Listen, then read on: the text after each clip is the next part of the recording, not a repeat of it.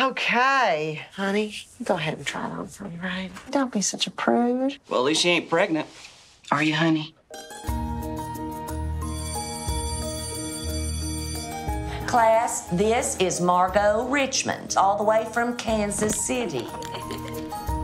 Well, if it ain't all a stinky draw. Come on, Mike, do it. Is she in the right position now, Mackie? Ah, Jesus H. Christ! Move it! Come on. Move it! Get in. Are you okay? What are y'all doing in Wakita? My daddy takes pictures for Life magazine. You might have even seen the picture he did for Marilyn. Marilyn Monroe? Well, who else?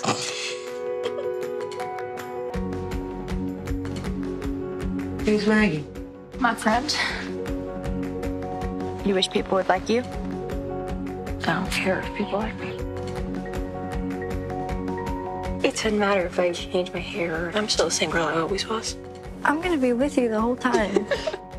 Iris Dearborn, is that you? I've never seen you all dolled up. I hardly recognized you. You look beautiful. you came. Hey, Iris. That gorgeous boy just said hey to you. I know. Well, why don't you say hey back? Because I might throw up. Maggie, we know you're new, but it is essentially you stay away from Iris Dearborn. Something's wrong, I know it. I can always tell when you're lying. I'm not lying. Honey, you think this girl is your friend? Come on, what's wrong with you? What is wrong with you? What's wrong with me? Maggie!